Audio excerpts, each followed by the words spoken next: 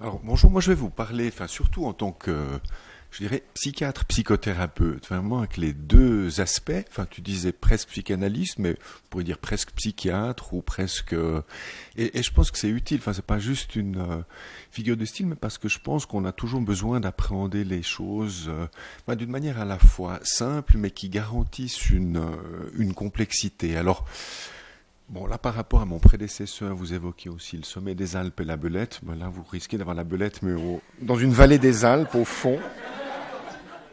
Mais je m'en excuse d'avance, mais donc je vais.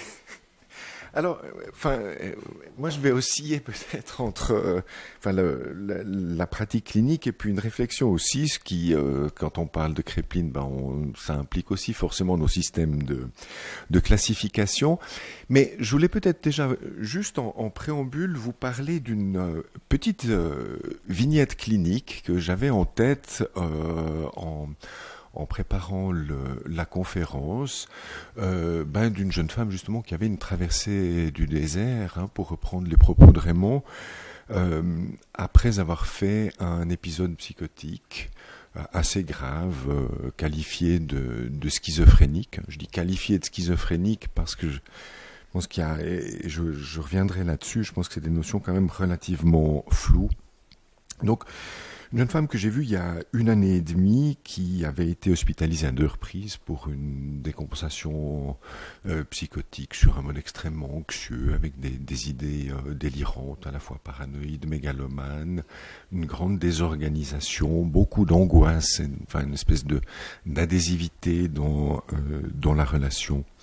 Et elle allait pas très bien. Il y avait eu des tentatives euh, de suivi en hôpital de jour. Elle traversait une période euh, sombre comme ça, et c'est son médecin généraliste qui m'avait téléphoné pour euh, me demander de la voir. Alors je, vois cette jeune femme qui avait un, un, parcours de vie. Alors je vous donne comme ça quelques éléments de, de son parcours de vie. On pourra peut-être les reprendre dans la discussion euh, dont les parents s'étaient séparés alors qu'elle était en très bas âge. Elle a très peu connu son père pendant une longue période. Euh, beaucoup d'angoisse, de, crainte lorsqu'elle allait le, voir, souvent en larmes. Elle devait revenir chez sa mère. Mais néanmoins, une jeune femme qui a pu faire tout un, parcours euh, scolaire sans aucun problème. Euh, première de classe, euh, travailleuse, qui réussit sa, sa matu assez brillamment et qui arrive à, l'UNI pour débuter des, des, études de, de psycho. Et puis, à ce moment-là, sa mère fait un cancer du sein, grande angoisse chez cette jeune femme qui euh, se, désorganise progressivement, s'angoisse, et euh, ben euh, tout s'arrête un peu comme ça avec un, échec dans ses dans ses études. Elle essaie de reprendre l'année suivante, mais sans plus de, de, succès. Finit par faire vraiment une une décompensation psychotique assez floride avec des idées délirantes, une grande désorganisation. Est hospitalisée à deux reprises successives, puis ensuite avec un, suivi euh, euh, ambulatoire. Euh, et lorsque je l'ai reçue, alors elle n'était plus dans une période très délirante, il persistait quelques très discrets euh, symptômes de type psychotique, une, idéation paranoïde, une interprétativité, mais surtout un, tableau de, de dépression, de euh, d'angoisse, avec des, des aspects qui moi m'apparaissaient comme ça relativement euh, infantiles ou une grande dépendance euh, à l'autre. Euh, et euh, selon les, critères diagnostiques qu'on pourrait euh, retenir, elle avait parfaitement les critères de ce qu'on appellerait dans le, le, le DSM une dépression post-psychotique. D'ailleurs, elle avait un traitement antipsychotique ainsi que un traitement anti euh, antidépresseur. Et alors je lui ai proposé qu'on euh, qu'on démarre euh, une, une psychothérapie ensemble hein, où je m'occupe également de du traitement pharmacologique. Euh, j'étais au départ assez réticent à ce qu'elle arrête son antidépresseur mais elle était très réticente à prendre des des traitements. Elle avait euh, donc un traitement dépôt et puis un antidépresseur. Et puis ben, la relation s'instaurant, on a pu simplifier, on a fait un changement de traitement antipsychotique et puis elle a interrompu son traitement antidépresseur alors même qu'elle restait déprimée. Mais parallèlement, euh, je suis intervenu aussi sur un plan beaucoup plus de la réalité puisque cette jeune femme était à, à 25 ans à l'AI alors que elle était partie pour faire des études universitaires et euh, on s'est aussi engagé dans une démarche de réinsertion professionnelle, de, formation euh, qu'elle est en train de, débuter. Euh, et donc, l'enfant, ce qui m'avait interpellé dans cette euh, petite histoire clinique, enfin là, je vous la fais de manière très résumée, c'était qu'elle a commencé à aller mieux à un moment où on avait simplifié le traitement, probablement en enlevant quelques effets secondaires, mais on avait aussi enlevé l'antidépresseur. C'était ça qui m'avait interrogé, alors que je voyais cette jeune femme euh, euh, quand même euh, très déprimée, et où j'avais aussi par moments des craintes d'un passage à l'acte suicidaire. Alors, j'en reste là peut-être pour, pour la vignette clinique, mais de vous dire que c'était peut-être ça que moi j'avais en tête, un peu comme, comme fil rouge en abordant cette question de, la dépression euh, post-psychotique, qui m'apparaît une chose assez euh, euh, compliquée dans laquelle on est tout à fait pris, à mon sens, autant peut-être dans une vision néo-crépinienne, c'est-à-dire dans cette espèce de dichotomie entre troubles maniaco-dépressifs, psychose maniaco-dépressive, démence précoce ou schizophrénie ultérieurement avec Bleuler, mais, peut-être aussi, si on prend là une, euh, une perspective ou une réflexion analytique, dans cette distinction névrose-psychose, qui est aussi quelque chose qu'on pourrait, euh, pourrait questionner. moi, j'ai toujours beaucoup de peine parce que je n'ai jamais vu de, ma vie, enfin, en, en, 20 ans de travail en institution avec des, des patients plutôt euh, graves, souffrant de, troubles psychotiques, je n'ai jamais vu de personnes souffrant de, psychose sans une composante affective, timique, extrêmement euh, présente, euh, alors de manière variable au, au fil du temps, certes.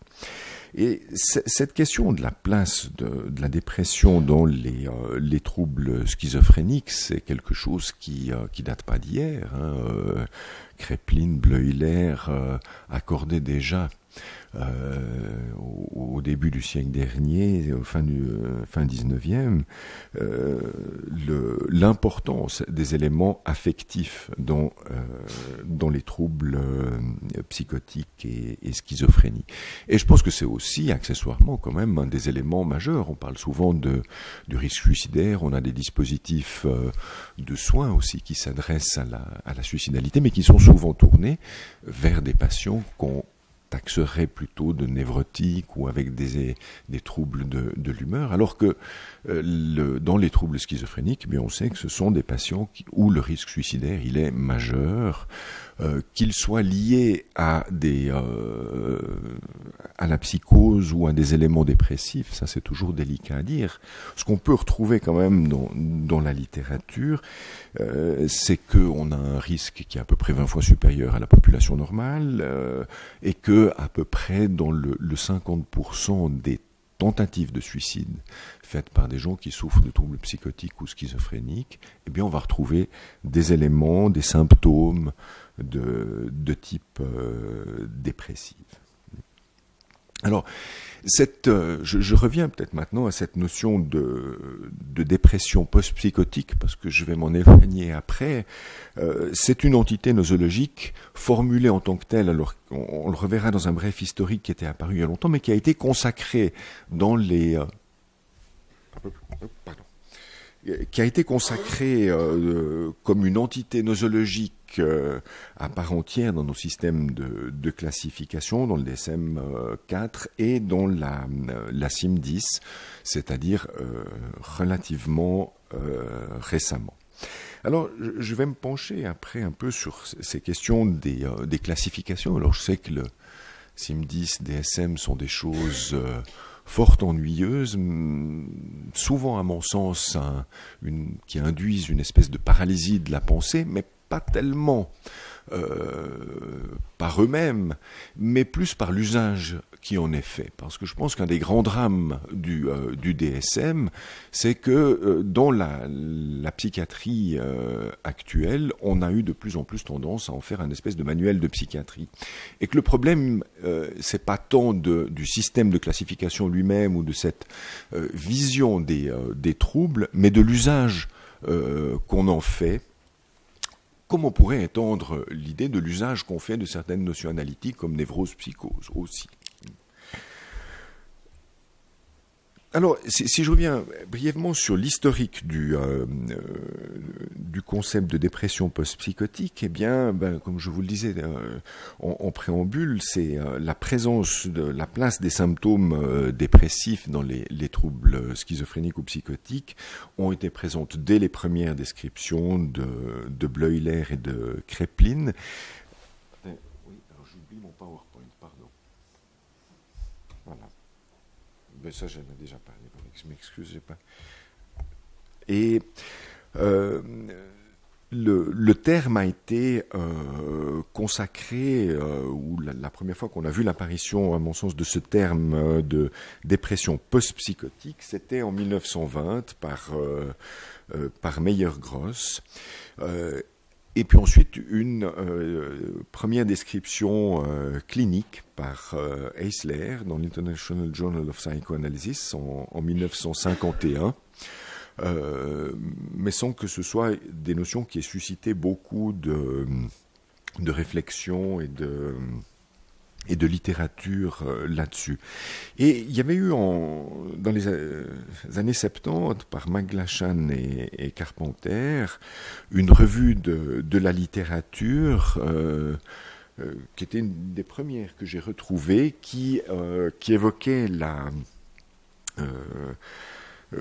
ce concept de, de dépression post-psychotique en évoquant l'absence de, consensus qu'on pouvait avoir autour de, cette notion dans la littérature, mais avec quand même euh, deux, éléments qui devraient être présents, c'est-à-dire la présence d'une composante phasique qui va euh, succéder à une euh, période de, psychose, avec ou sans intervalle libre, et puis aussi, surtout, la présence d'un tableau dépressif complet pas seulement d'affect euh, dépressif, c'est-à-dire vraiment les critères d'une euh, d'une dépression euh, majeure au sens du, DSM.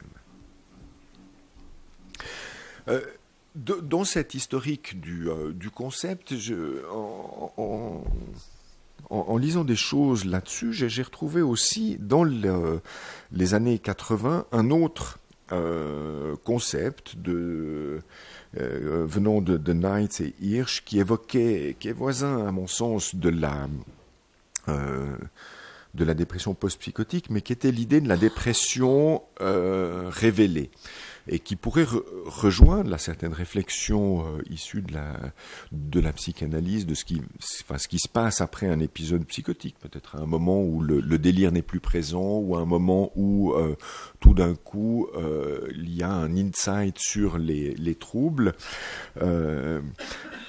avec l'idée qu'il y aurait là des symptômes dépressifs présents lors de l'épisode aigu, mais qui vont se, démasquer euh, avec la, régression de, euh, la phase euh, productive. Alors, je, reviendrai là-dessus parce que je trouve que il y a quand même des, idées intéressantes et peut-être là aussi une, racine commune à ces différents à ces différents troubles. Là, j'entendais enfin, entre psychose et, et dépression. En, revenant sur le concept de, euh, dépression euh, post-psychotique, il a été opérationnalisé dans le, DSM-4 et dans la, la CIM-10. Alors dans le DSM-4, c'était euh, la description, on la retrouve pas dans le je veux dans le corps du texte, mais dans l'annexe B qui définit des critères pour, pour la recherche et qui définit là un, comme critère un épisode de dépression majeure euh, qui se superpose à la phase résiduelle d'une décompensation euh, schizophrénique et survenant uniquement au cours de, celle-ci. Mais aussi, et on retrouve cela là-dedans, avec une absence de spécificité par rapport aux troubles de, de l'humeur. Hein. Euh, alors, euh, oserait déjà là la question est-ce qu'il ne faut pas appeler ça simplement euh, une personne qui fait une dépression majeure et qui avait fait autre chose avant Est-ce que forcément on a un lien entre les deux, avec aussi là des, des, critères temporels très peu précis dans le, le DSM Dans la CIM10, on retrouve une une définition à peu près analogue, c'est-à-dire qu'on devrait avoir un, un trouble schizophrénique dans les 12 euh, derniers mois. Euh, la petite distinction, c'est la présence de certains symptômes psychotiques, mais encore, ça pourrait rejoindre la définition de, la phase résiduelle du, euh, DSM. Euh, et là aussi, on retrouve la symptomatologie euh, dépressive comme devant être au premier plan et répondre là à nouveau aux critères d'un épisode dépressif majeur et persister au moins deux semaines. Je pense que autant la, la CIM10 que le, DSM, enfin pour inintéressant que soient ces deux ouvrages à la lecture, euh, soulève quand même deux questions qui m'apparaissent euh, importantes sur le statut nosologique de cette entité euh, de, la dépression post-psychotique. on pourrait le formuler assez simplement, c'est-à-dire est-ce qu'il va s'agir d'une dépression révélée par la disparition des symptômes psychotiques ou alors d'un nouveau trouble qui, qui va apparaître ou est-ce que la dépression fait-elle partie intégrante d'un trouble schizophrénique ou est-ce qu'elle est réactionnelle à la maladie, voire, euh, voire distincte? Alors, je, je, reviens sur le, euh, le, DSM. Euh, parce que le, DSM a quand même connu une, une évolution intéressante. Enfin, peut-être pour la petite histoire, ça n'apparaît pas dans ce, euh, tableau de, euh, l'article de, Croc duquel j'ai tiré ce, schéma, mais le, précurseur euh, du, euh, DSM était le Medical 203 ou 2003, j'ai un doute, ça fait erreur, de Menninger, donc un psychanalyste, et c'est ce qu'on a retrouvé quand même dans le, les évolutions du, euh, DSM 1 et, euh, et 2, euh, qui étaient des, euh, des systèmes de classification profondément empreints d'une d'une réflexion psychanalytique, de cette distinction névrose-psychose, et que c'est au moment du, du DSM 3 qu'on a vu cette, euh, euh, cette rupture avec euh, cette idée qu'on voulait avoir un manuel athéorique donc en sortant des, des concepts analytiques, ce qui n'a fait que se poursuivre après avec le 3R, le 4, le 4R et, maintenant le, le 5 qui vient de, de sortir. Et alors, ce qui me semble avoir changé aussi dans cette évolution euh, de cette réflexion nosologique, avec à partir du DSM-3 et du DSM-4, euh, et, qui a été et qui reste toujours, euh, quasiment une obsession des concepteurs du DSM, c'est cette quête de fidélité du diagnostic. Euh, puisque le, DSM a été construit pour ça, pour avoir un dialogue commun, euh, non pas pour euh, refléter la, réalité des troubles, mais pour qu'on puisse avoir une fidélité au diagnostic, parler de, de la même chose, alors d'où l'importance qu'a pris aussi cette notion de fiabilité interjuge avec ses calculs, coefficients kappa, euh, mais avec un écueil, c'est qu'un système euh, diagnostique qui est, euh, qui est fidèle, qui a une fidélité interjuge, n'implique pas nécessairement une validité, c'est-à-dire pour moi qu'il colle avec la réalité clinique de, terrain. Je pense que ça, c'est des choses comme, comme clinicien où, où on doit constamment être attentif à, à cela, et peut-être particulièrement après l'évolution qu'on a vue sur le, dernier quart de siècle de, du XXe siècle, hein, où on a quand même euh, eu un espèce de, formidable essor euh, positiviste avec les, neurosciences, avec euh, l'idée qu'on allait résoudre beaucoup de choses à travers les, les neurosciences et qui est quand même un, espoir quelque peu déçu en ce début de, de 21e siècle.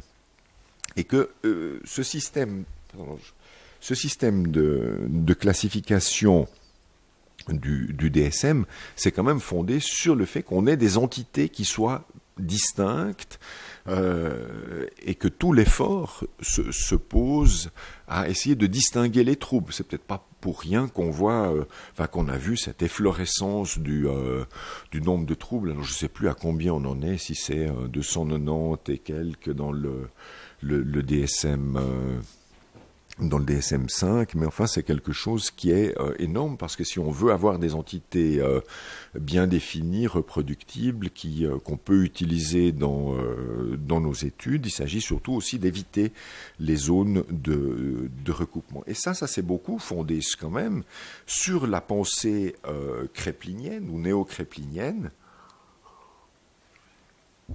c'est-à-dire quand même conçue sur un schéma qui est un schéma médical, qui est né dans un contexte hospitalier, puis avec des patients qui étaient atteints de, troubles euh, sévères.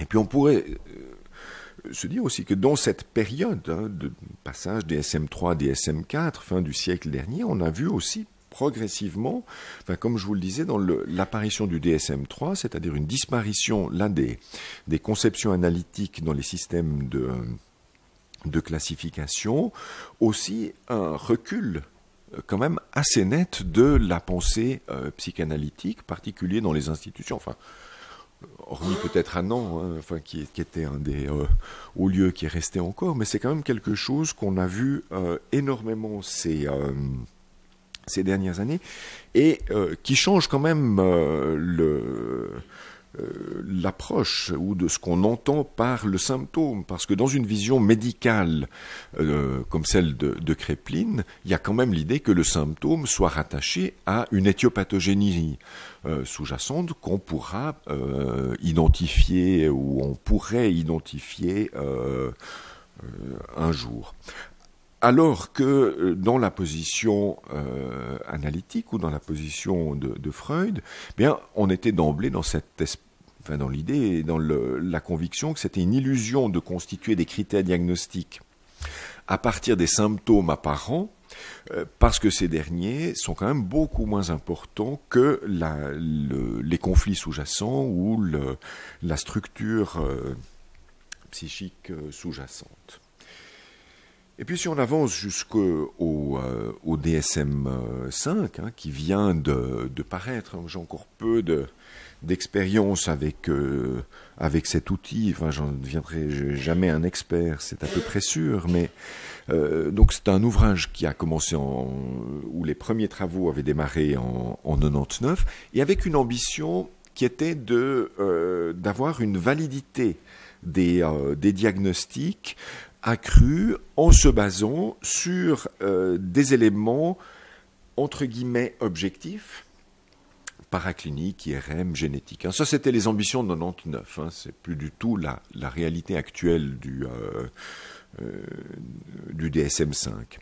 Euh, et qui se voulait donc un peu en rupture. Hein. Enfin, un autre signe de, la rupture, c'est que quand on, a passé des chiffres romains aux, chiffres arabes aussi, il y avait aussi peut-être là un petit signe, je pense qu'il voulait faire passer par là, mais en tout cas une idée de rupture et avec l'idée aussi qu'on revienne à une approche euh, dimensionnelle qui devait un peu réformer ces, euh, ces divisions catégorielles euh, traditionnelles.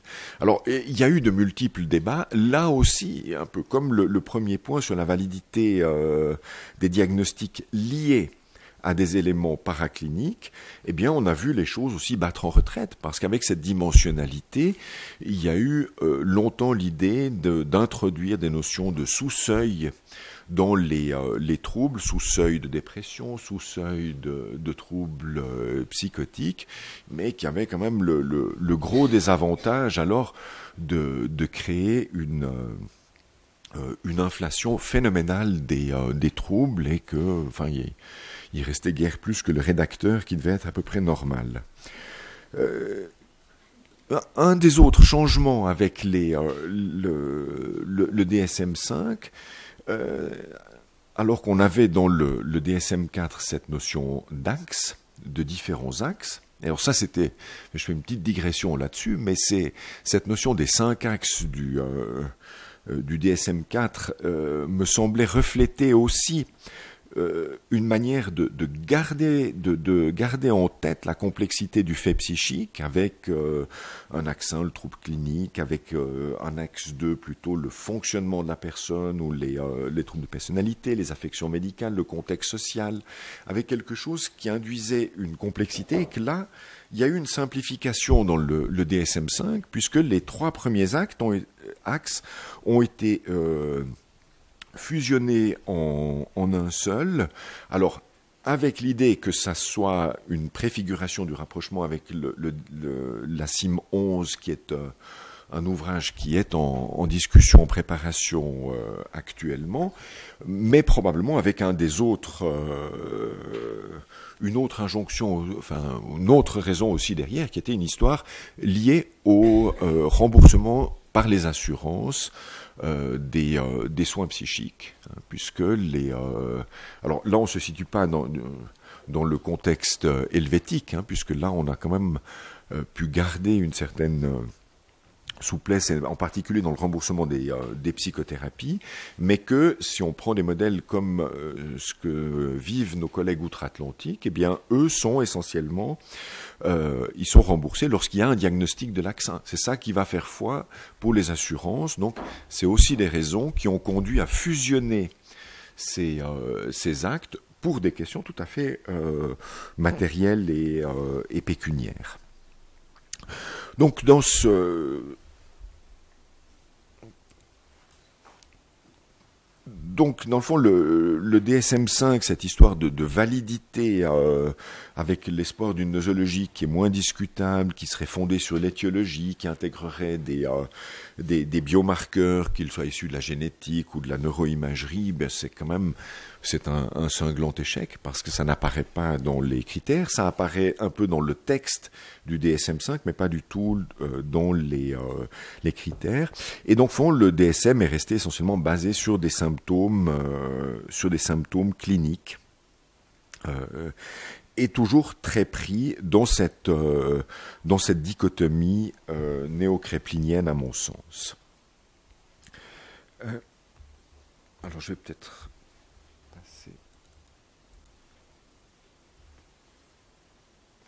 Je vais peut-être justement revenir euh, à cette euh, dichotomie de, de et puis j'ai regardé un peu la, littérature à ce sujet, de voir quels arguments on avait encore pour, euh, euh, pour cela, parce que ça représente encore hein, plus d'un siècle après l'apparition de cette dichotomie euh, entre démence précoce et, maladie maniaco-dépressive, vraiment, à mon sens, la, pierre angulaire de notre découpage euh, nosographique des troubles psychotiques, et surtout une base de travail euh, courante pour le, clinicien euh, dans la pratique euh, quotidienne autant que dans la, recherche. néanmoins, beaucoup de, cliniciens, voire la plupart, se sont toujours interrogés sur l'idée d'un continuum entre ces deux euh, entités, puis que c'est des choses dont, où on a vu émerger aussi beaucoup de littérature ces dernières années en, questionnant cette, euh, cette dichotomie. Et alors je pense que là, il faut euh, rendre justice à, Kreplin, quand même, qui évoquait lui déjà en 1920, dans son, dans, son article sur la manifestation of insanity, il devient de plus en plus clair que les distinctions entre les deux maladies ne sont pas satisfaisantes. Euh, pas entièrement satisfaisantes, on devrait dire, hein, mais ça on le reverra dans euh, les, euh, les, éléments. Alors j'ai essayé de rechercher un peu quels étaient les éléments qu'on pouvait avoir dans la littérature pour ou contre une, dichotomie créplinienne. Je m'excuse pour les fautes, je vois que j'ai fait plein de fautes de frappe là dans mon PowerPoint, mais... Euh, alors, si on prend les, données euh, épidémiologiques dans un, dans un premier temps, ben, euh, ce qui est intéressant, c'est que les, études familiales nous montrent l'absence de spécificité du, du risque, puisqu'on retrouve des agrégations familiales qui sont, qui sont partagées par, par ces deux troubles. Hein. Ben, la patiente dont je vous parlais, ce qui était intéressant, c'est qu'elle a vu une grand-mère probablement avec un trouble euh, bipolaire, et que du côté de, je crois que c'était un frère du père, un trouble euh, de type euh, schizophrénique, d'après ce que j'ai pu voir. Et ce qu'on voit aussi, c'est que on a vraiment cette héritabilité qui est à peu près similaire, mais aussi croisée. Ce qui veut dire que si on prend ces données épidémiologique ou sur l'héritabilité euh, directe ou croisée pour euh, pour les, trois troubles, schizophrénique, bipolaire ou schizoaffectif, mais on a peu de, de choses qui soutiennent cette, cette distinction néocréplinienne. Hein. C'est ce qui est figuré sur ce, euh, ce schéma-là, euh, où euh, ben, on voit que lorsqu'on a un parrain qui est atteint de, schizophrénie, ben, on va avoir un risque augmenté à la fois de troubles schizophréniques et de troubles bipolaires. Et puis, ben, comme vous le voyez sur le, sur le schéma que je ne vous ai pas montré, pardon, eh bien, vous, on va retrouver quelque chose de tout à fait croisé. Euh, lorsqu'on a des, parents biologiques atteints de, schizophrénie, ben on a un risque augmenté de troubles bipolaires euh, euh, dans une un peu moindre mesure que du trouble schizophrénique et ainsi de suite, si on prend les frères et sœurs, etc. etc. Donc là, en, en termes d'héritabilité, peu d'évidence pour le maintien d'une dichotomie néocréplinienne. Si on en vient aux données qui nous sont issues de, la clinique, eh bien, on voit que, euh, ce que je vous disais en préambule, une grande majorité des patients euh, qui euh, présentent des, des troubles du spectre de, de, la schizophrénie ont également des symptômes affectifs. Ça, c'est des choses qu'on voit bien dans la, dans la clinique, ou on pourrait dire l'inverse aussi, quand même, bon nombre de patients qui souffrent de troubles, euh, de troubles bipolaires, et eh ben on va retrouver des éléments euh, psychotiques. Dans ce qu'on retrouve dans la littérature, alors là on voit des, écarts énormes, mais euh, par rapport à la présence de symptômes dépressifs dans la, schizophrénie, ben on retrouve des chiffres qui vont en gros de, de 7 à 75% de, euh, de symptômes euh, dépressifs selon les méthodologies utilisées. Autre chose qu'on peut retrouver dans la littérature récente, c'est qu'on avait aussi accordé pendant longtemps, et c'était ce que faisait le DSM-4, a accordé une grande place aux symptômes euh, schneideriens de premier rang dans le diagnostic de, la schizophrénie, ce qu'on retrouve autant dans la CIM-10 que dans le, DSM. Mais à l'heure actuelle, on a aussi de plus en plus d'évidence de la littérature que ces symptômes dits de premier rang ne sont en tout cas pas pathognomoniques de, la, schizophrénie, et qu'on va les retrouver aussi dans euh, d'autres troubles. Donc là encore, sur le plan des, euh, données cliniques, euh, on n'a pas de confirmation stricte de cette dichotomie néocréplinienne. si on vient si on en vient aux, données génétiques, alors là, on a un peu plus d'éléments qui irait dans le sens d'une euh, euh, distinction euh, néocréplinienne entre les, les, troubles du spectre de la schizophrénie et puis les, les psychoses maniaco-dépressives. alors, les deux semblent résulter d'un d'altération ou de l'effet combiné d'un grand nombre de, gènes, chacun ayant un effet relativement limité. Alors on va retrouver plusieurs de ces gènes dans les études. Alors je vous passe les descriptions parce que c'était, euh, j'ai pas retenu non plus tous les bouts de gènes hein, parce que c'était, euh, il y en avait une kyrielle.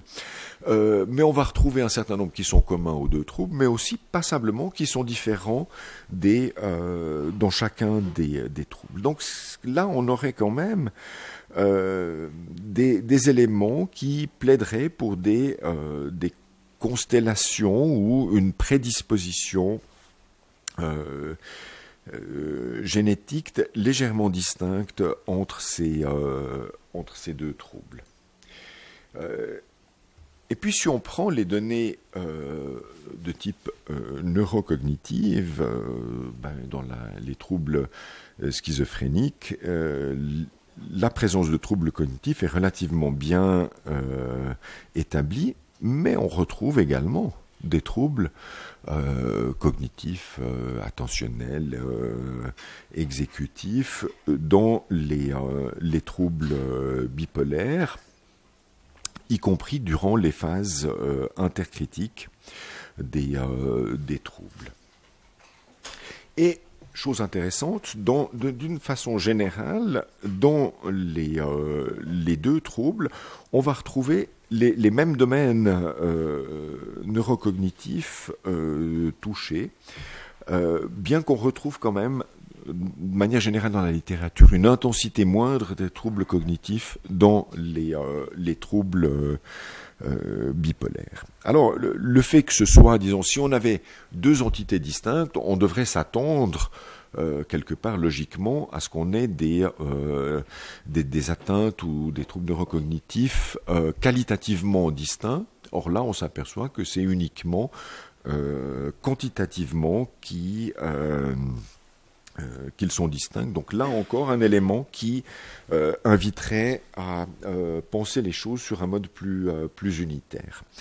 Alors, si on en vient à la, aux aspects,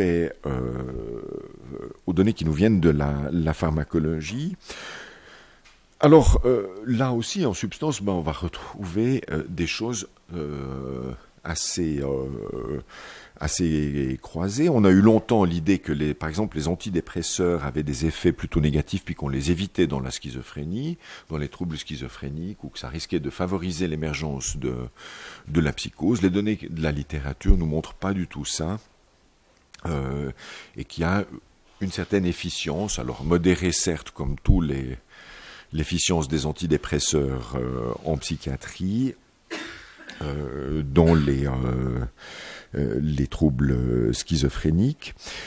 Mais si on le fait en, de, manière très résumée, on s'aperçoit, chose intéressante, que aucune molécule n'a une spécificité dans l'un des troubles. C'est ce qu'on voit à l'heure actuelle avec nos, nos antipsychotiques de seconde génération qui sont efficaces dans les troubles de l'humeur, dans le traitement des, euh, des dépressions, mais qui sont aussi efficaces dans les troubles bipolaires, y compris dans une fonction de stabilisateur de, l'humeur, et qui sont aussi efficaces dans les troubles euh, schizophréniques. C'est-à-dire que si on prend l'angle de la psychopharmacologie, le seul traitement qui apparaît spécifique aux troubles bipolaires, c'est le lithium. Tous les autres, c'est euh, commun. bon, c'est un peu c'est un petit peu désarçonnant comme, comme conclusion. Alors, euh, si on en vient à une, euh, à, rediscuter ces, euh, ces données, moi je, dans le fond, cette dichotomie créplinienne, on la trouve très largement critiquée dans, dans la, la, littérature, en même temps qu'elle est assez prévalente dans nos manières de penser, souvent dans nos manières de penser la clinique.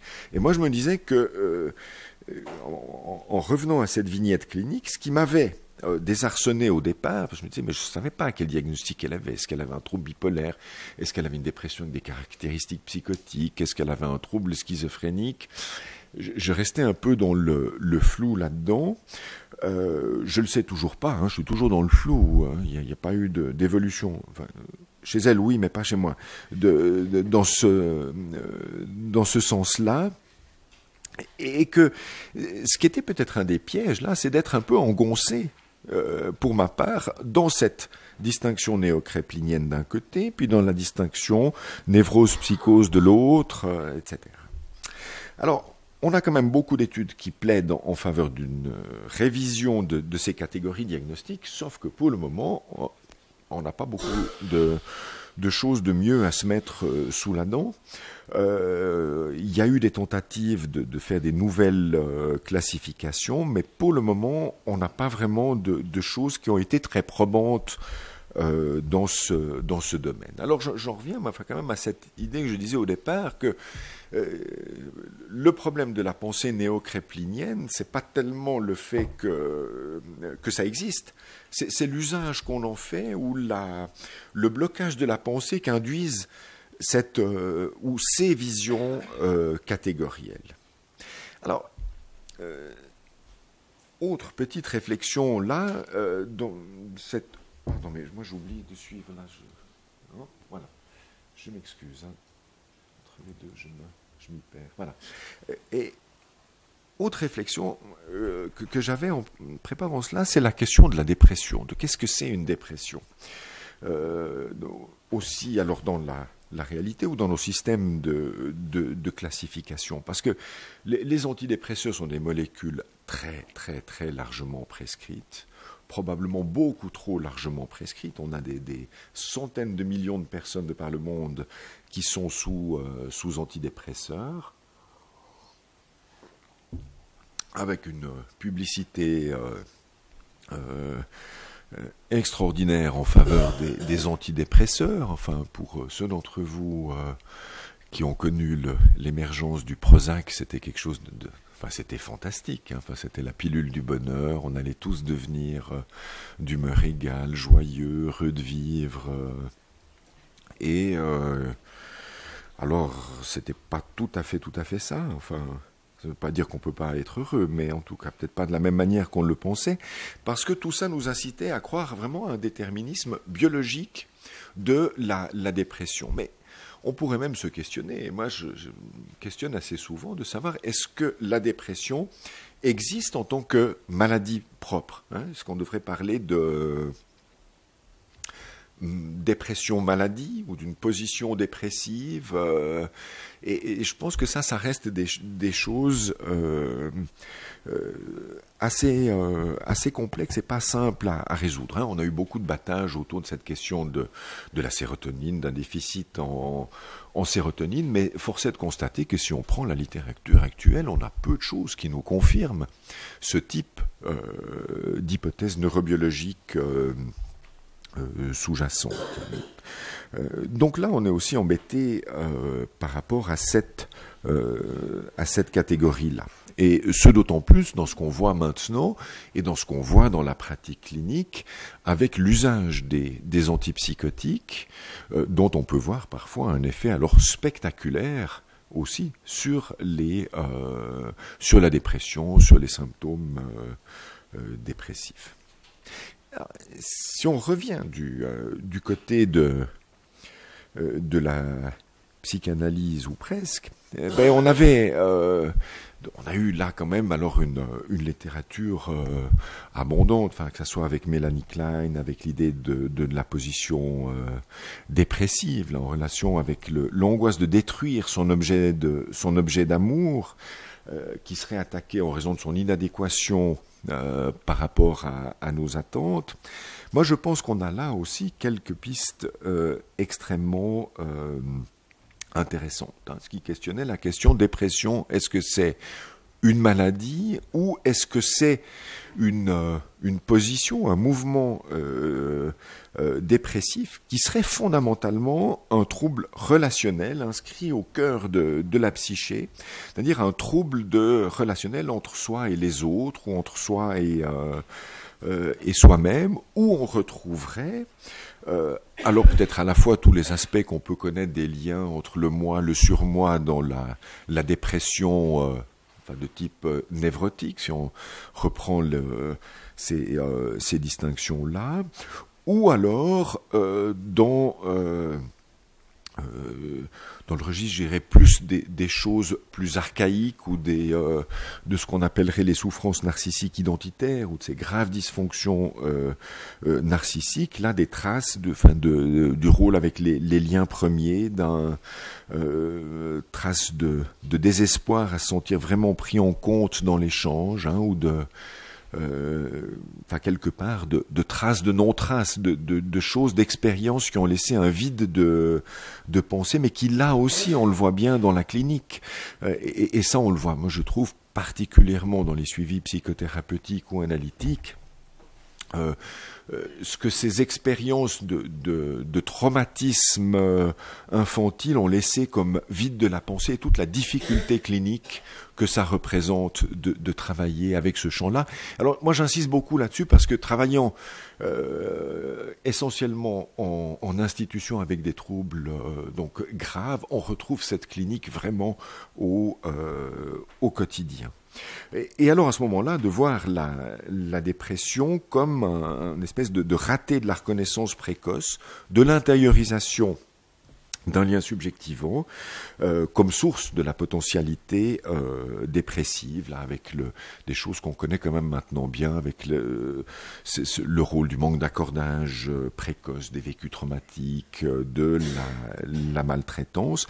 Et du coup, alors, est-ce qu'on retrouverait pas là un espèce de soubassement commun tant à la psychose qu'à la dépression, euh, si on postule que ce sont des euh, dysfonctions narcissiques graves euh, qui sont sous-jacentes à, à, ces troubles. Et moi, c'est quelque chose que j'avais en lien, que j'avais en tête, pardon, pour pour cette jeune femme dont je, je vous parlais, parce qu'il y avait eu ce ce départ du, père, ces angoisses qu'elle avait eues et qui s'étaient réactivées un moment où elle risquait de, de perdre sa mère, de, perdre un lien. Et, ça avait survenu au moment où elle avait déménagé de, chez elle, et que moi j'avais à un moment donné l'hypothèse, et je l'ai toujours, qu'il y avait certainement eu, dans ce moment de la adolescence, post-adolescence, quelque chose qui s'était réactivé euh, chez cette euh, jeune femme. Euh, parce que on, se retrouve aussi toujours, et moi je pense quand on parle de psychose, dépression, dépression post-psychotique, l'adolescence reste toujours quelque part un, modèle euh, ou un abord de, réflexion sur le psychisme qui est quand même extrêmement intéressant, puisqu'on va, bah, on a habituellement dans la psychose euh, débutante, hein, ce qui avait été même formulé comme à peu près comme tel avec la notion de phase prodromique, etc.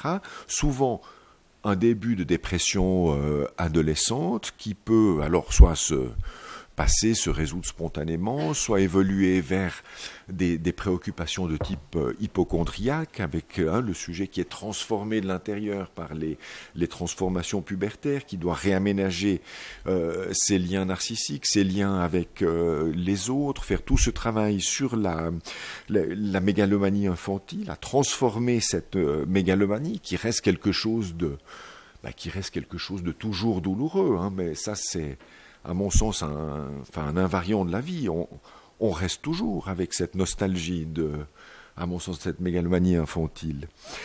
Euh, et, que peut-être cette période est aussi une période propice à la réactivation de ces, euh, de ces traumatismes euh, antérieurs, à un moment où il s'agit de sortir de, enfin, du cocon familial ou de ce cocon de l'enfance, et que là, on est beaucoup plus susceptible de réactiver ces, ratés euh, précoces euh, qui nous euh, qui, qui, amèneraient à une, à une dépression. Je ne sais plus où est-ce que j'en étais dans mes...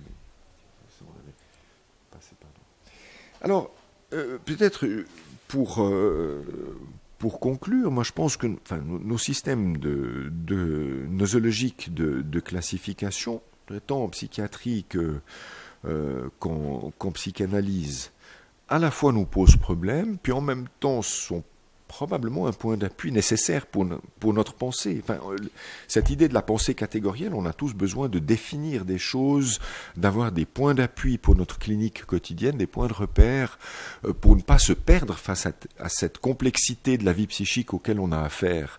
Je pense particulièrement dans cette question de la, de la dépression euh, post-psychotique, mais qui pour autant est, pour moi, un, concept que, auquel j'ai de la peine à adhérer, dont j'ai l'impression que c'est une euh, construction théorique qui ne correspond pas du tout à la, à la réalité, mais qui a cet avantage de nous alerter sur la question de la dépressivité, de la dépression, euh, qui fait pour moi nécessairement partie aussi de, du tableau clinique que l'on rencontre chez les patients souffrant de, psychose. Et que si on revient, alors là, en intégrant euh, euh, dans une réflexion euh, complexe et, sans pouvoir réduire cette complexité, de revenir à des réflexions qui nous sont issues de, de la psychanalyse ou de cette question des souffrances narcissiques identitaires, de, de cette question des expériences précoces qui laisse vraiment des, traces euh, profondes, ou alors simplement, sans aller euh, dans des choses aussi euh, fondamentales, mais sur des, conflits entre moi et sur moi, Hein, puisque je, repense à, cette jeune patiente dont je, vous parlais, elle a un niveau d'exigence vis-à-vis d'elle-même qui est extraordinaire. Hein. je retrouvais là aussi des exigences sur moi quand elle me décrivait euh, à l'Uni, elle devait tout savoir par cœur. Moi j'étais effaré en me disant mais comment on peut, euh, en faisant des études de psycho, savoir tout par cœur avant les examens? Et on sentait, ça, ça reste quelque chose dans son fonctionnement, c'est-à-dire que à la fois, elle a probablement une prédisposition euh, biologique, elle a en même temps un raté du travail de, de l'adolescence, elle a en même temps un problème de, lien entre son moi et son surmoi, en même temps des carences euh, euh, précoces, et que euh, si on part de, de, de cette idée de la dysfonction narcissique comme étant le, primum movens dans une, euh, dans une psychose, on est beaucoup moins embêté après dans la clinique quotidienne pour intégrer la question de la, euh, de la, la dépression, puis que ça, ça répondait peut-être à la question que je me posais, mais dans le fond, pourquoi cette jeune femme va mieux alors qu'on vient d'arrêter son traitement antidépresseur? Et chose quand même assez, euh, assez étonnante. Donc, euh, enfin, un peu toutes ces digressions euh, disparates pour revenir, en, termes de, conclusion, moi j'ai l'impression que on a besoin de ces différents regards, on a besoin en même temps d'être très conscient des limites qu'ils portent en, en chacun d'eux, et d'arriver à les faire coexister, mais sans exclusive, c'est-à-dire de ne jamais se réduire à une seule vision, et que c'est ça vraiment le, l'enjeu, à mon sens, du, euh, du travail euh, clinique euh, au quotidien. Quand on a vraiment les, les deux mains, les deux, les deux jambes dans le cambouis de la clinique, là, tous ces, ces, systèmes de, de, classification, on doit à la fois les avoir en tête et les, les oublier. Et c'est pour ça que je, je conclue en disant que pour moi, la question de cette entité de dépression euh, euh, post-psychotique, c'est pour moi une entité qui n'existe pas en tant que telle, mais qui m'est tout de même bien utile dans mon quotidien clinique.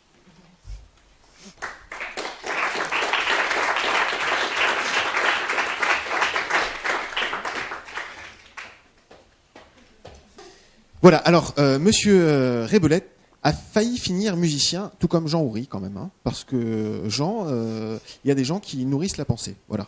Alors, euh, la dépression dans les troubles schizophréniques ne date pas d'hier. Le monde du travail est dur. Hein il y a des personnes, il euh, y a des pressions dans certains postes, surtout les postes psychotiques. Alors, avant, il y avait l'époque moderne il y avait les psychotiques. Et puis, il y a eu l'époque post-moderne avec des postes psychotiques. Et dans cette époque opaque, quitte de l'éthique. Est-ce stock Est-ce épique? Est-ce que cela pique? Quel est l'apport? L'apport qui pique. Bon, alors là, on passe de la belette au porc épique. Alors, on va pas en faire une montagne. Des ascensions, euh, les ascensions, hein, les musiciens en sont. Il y a des sommets ardus pour l'ascension au niveau théorique. Hein le DSM, par exemple. Quelle ascension? L'ascension, c'est quand Jésus il monte au ciel. Hein le DSM, c'est un peu le moment où les scientifiques ont vu la Vierge. Le DSM, c'est un beau film. Hein. Ils en sont au cinquième, avec des personnages bien définis. Ils ont des gros moyens, des effets spéciaux incroyables. Bon, moi, j'aime pas trop les films quand les personnages ne changent pas, hein, qui sont figés. Mais bon, le, DSM est un outil diagnostique, pourtant tellement bigot. Le DSM était un péplum en chiffres romains, puis c'est devenu euh, des chiffres arabes. Alors c'est le côté oriental, enfin plutôt le côté orienté. Le seul concurrent du DSM, c'est la CIM. Hein, ils en ont fait un film hein, sur une ville, d'ailleurs, ça s'appelle euh, SimCity. Mais le DSM, c'est de bien plus gros, moyen, enfin moyennement gros plutôt. Hein. Alors Monsieur Rebelette est musicien, il nous parle de Led Kreplin avec euh, Jimmy Page et Robert Plant. Hein, vous savez Alors ils vont se reformer, ce sera distingué, une distinction néo-caperlienne. Alors aucune molécule euh, n'a une action euh, spécifique. Alors moi, quand j'ai mal à la tête, par exemple, je prends de l'aldol et je dis schizophrénique sa mère. Bon, je déconne. Parce que c'est tragique, c'est amer quand même finalement. Les beaux labos font des trucs à peine mieux que les placebos. Et oui, alors qu'il est beau le beau labo et qu'il est laid le placebo. Bon. Le Prozac, c'est comme la pilule du bonheur, à la bonne heure, hein, dans le meilleur des mondes, dirait Huxley. Bon, les médicaments, euh, bien sûr, ça peut aider. Hein. Et en conclusion, euh, comme on dit parfois, quand le soignant ne répond pas au téléphone, le patient ne répond pas au traitement. Merci.